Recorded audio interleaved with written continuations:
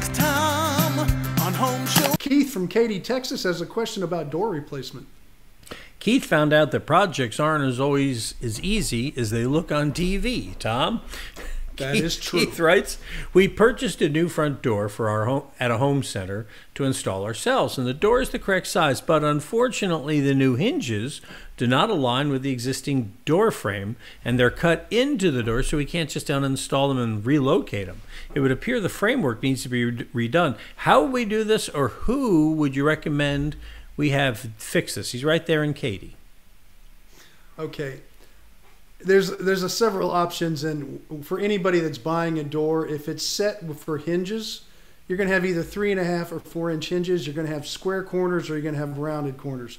So always take a look at that. Hinges on a door that you have are never going to line up with a door that has hinges that are already mortised in there. So don't think it's just going to be, oh, we'll just swap them out. It'll be so much fun. Uh, it doesn't work that way at all. Now, what you can do is you can either uh, mortise the edge of the door to fit the hinges on your frame, or you can put the hinges in the door and then mortise the frame to fit that if you don't want to switch out your entire frame. If you're going to do the whole frame and everything, uh, that's a lot of work. I just as soon see you take that door to someone like Door Clearance Center and have them make a unit out of it where the frame and everything is all set, and all you do is pull the old door out and put the new, new door in. But it's going to be some money and it's going to be a bigger job. Uh, but that would be the answer if you want a really clean job. Uh, quite frankly, it might be cheaper to just go buy a door from them that's very similar to the one you have and find something else to do with that door you bought and let them set the whole unit up because their prices are so low.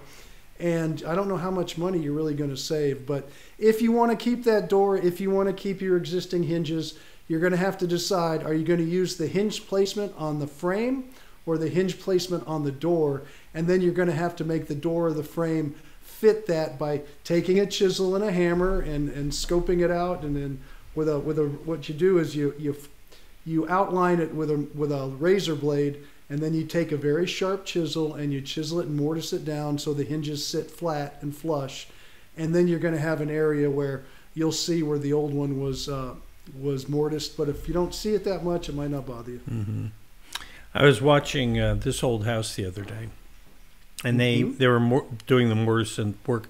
They were using a router to do it, and uh, yeah. Now is, those guys first off have Well, the tools that homeowners don't have. To- Tommy knows how to do stuff. that maybe no, if I was in the business do Yeah. doors, it's it's a jig setup where you actually set it up and then you just Mhm. zzz, zzz, Yeah. zzz, and it's all done. Right. And you do No the offense, same on Keith. the frame.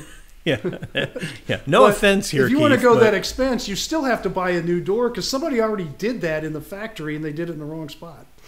When so if you do this time, if you're going to mortise in those things in the different places like you're talking about, are you then going to fill in the others or just leave that those other places? Does it matter? It doesn't matter because you don't see it when the door is closed. Uh, I would do it on the door and not the frame because you see you notice the frame more, but the edge of the door people don't look at. So probably you just have to lengthen the one on the top or the bottom depending how the hinges sit on the door and just take a little bit out so that hinge fits into the door if the door's the right thickness. So that's how I would do it. I would do it on the door side, not the frame side. I'd leave the frame alone and match to those hinges. Got a question? Tom will help you out no matter what it is right there. Click on that blue Ask Tom button. You'll find it at homeshowradio.com, by the way. It'll take you to this page where you can figure out whether you're going to send us a video or pictures or whatever you want to do to help us give you a good answer because Tom likes to help. And so we put these videos. I post a new one every day at homeshowradio.com, uh, our Facebook page, and our YouTube channel where you'll find hundreds, almost thousands of answers just like this one.